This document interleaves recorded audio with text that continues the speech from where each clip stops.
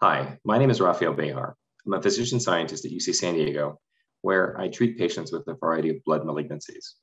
I'd like to talk to you today about how you can be a stem cell match for a patient. Patients with blood cancers often don't have curative options outside of a stem cell transplant. They rely on donors that are an immunologic match to them in order to receive a bone marrow transplant or stem cell transplant that might be curative for their condition.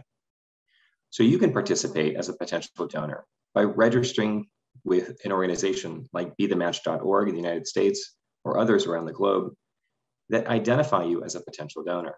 It's easy. The first step is simply to register with one of these sites and fill out a short questionnaire that asks about your health.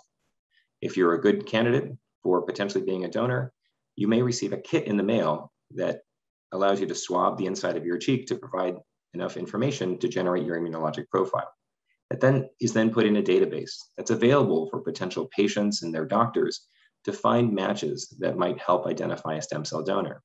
If you happen to be chosen, you'll be contacted and asked additional questions about your health to ensure that it is safe for you to donate.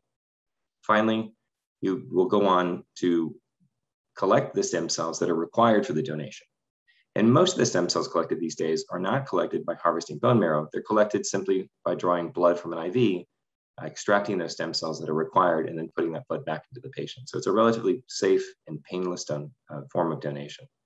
So I strongly encourage you to consider being a match. It'll be a great benefit to our patients who are in need of a transplant and is a very easy and selfless thing to do.